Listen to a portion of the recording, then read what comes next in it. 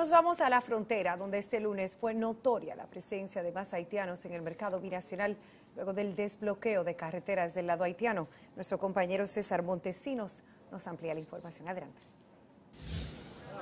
Gracias. Así es como ustedes acaban de adelantar. Hoy se pudo notar en el mercado de Dajabón un incremento en la asistencia de cientos de haitianos aquí en el mercado fronterizo de Dajabón hoy en el mercado, él ha cambiado el mercado hoy. Hay mucha gente. Está, caro el peso, pero ellos están comprando algo. Sí, ya. ha incrementado la venta. Sí, ha mejorado la venta. el mercado de hoy está más o menos regular. Hoy, hoy tú ves que eh, la, cosa está volviendo a su, a su normalidad, que esperamos que no haya ningún tipo de tropiezo en los próximos mercados y esperamos que Dios nos proteja y que todo siga fluyendo como hasta ahora está, está haciendo. Allá una libra de arroz está, casi a 100, está a 80, 80 gu. Y, y, peso está a 275, pero como quiera hay que comprarlo, imagínate. Se recuerda que la mayor parte de la economía de los habitantes de la zona fronteriza depende de la realización de los mercados fronterizos es toda la información que tengo en estos momentos desde la zona del mercado fronterizo aquí en Dajabón. Retorno con ustedes a los estudios.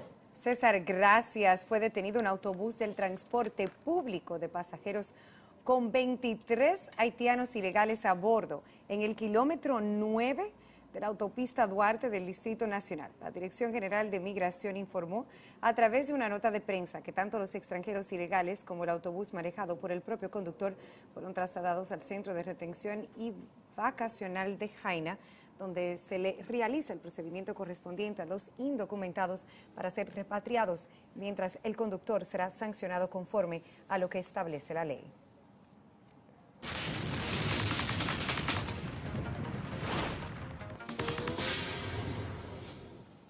República Dominicana volvió a romper récord en la llegada de visitantes al registrar la histórica visita de 491.788 turistas en octubre, superando en un 32% el mismo periodo del año 2019. Así lo informó el ministro de Turismo, David Collado, quien expresó además que en los primeros 10 meses de este año la llegada de visitantes aportó 7.278 millones de dólares a la economía del país.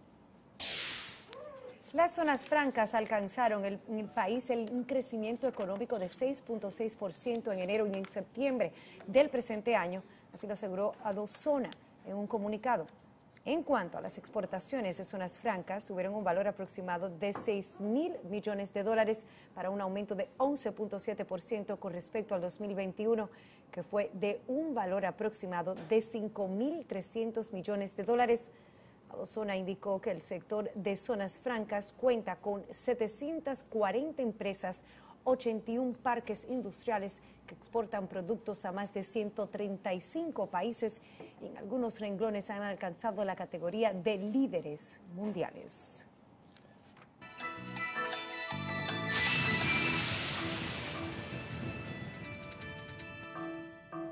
Una vaguada situada en varios niveles de la troposfera y al norte de la isla producirá una ligera inestabilidad junto al viento alisio del sur-suroeste y efectos locales para generar aumentos nubosos con aguaceros puntuales, aisladas, tronadas y ráfagas de viento. Según la ONAMED, estas condiciones estarán más activas en las regiones noroeste, suroeste, noreste, la zona fronteriza y la cordillera central.